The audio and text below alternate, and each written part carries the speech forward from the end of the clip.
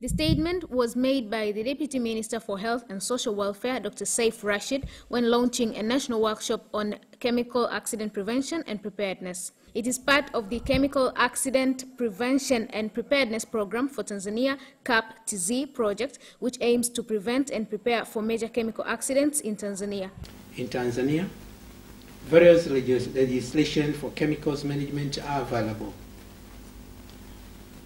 The key legislation these include the Industrial and Consumer Chemicals Management and Control Act number 3 of 2003 and the Environment Management Act number 20 of 2004. Both of these two legislation sets up requirements for chemical accident prevention and preparedness and environmental impact assessment. And chemical accidents could be such disasters. In the SDC guidelines for disaster risk reduction, we can read the following.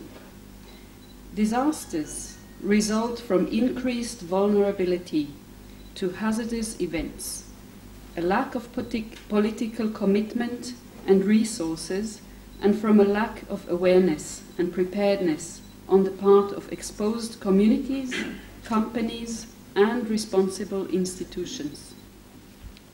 UNEP is committed to give all its technical expertise it has and also work with the different partners we always work with to ensure that this program is very successful in Tanzania.